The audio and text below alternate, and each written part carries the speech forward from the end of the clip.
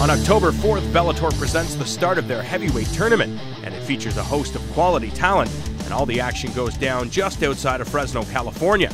And heavyweight semi-final action, hard-hitting UFC veteran Cheick Kongo makes his anticipated Bellator debut, and he meets English knockout artist Mark the Hand of Godbeer. The Wolfslair product Kongo is a physical specimen, and is sure to rely on that attribute to take out his less experienced foe. Over his near 30 fight career, the French fighter has been paired with some of the sport's most decorated and dangerous competitors, including UFC royalty Cain Velasquez, in addition to Frank Mir and Ultimate Fighter winner Roy Nelson, so dealing with the unheralded Godbeer should not concern him. However, if the 38 year old underestimates his opponent, Godbeer might be able to score the seventh knockout of his 10 fight career.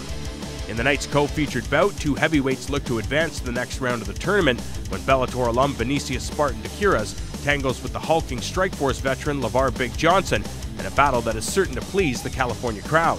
With 15 knockouts and 17 victories throughout his mixed martial arts career, there's little doubt to what the game plan is for the former AKA pupil Johnson.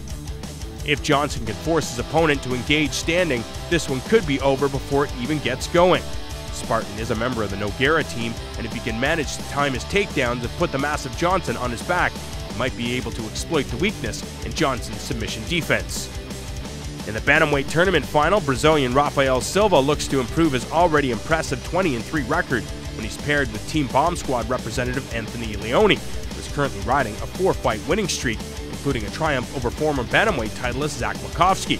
The American submission specialist may have to rely on more than his ground game as he's meeting an athlete that seems to be able to do it all, as he has vanquished numerous opponents by KO or submission, in addition to going the distance three times in his mixed martial arts tenure.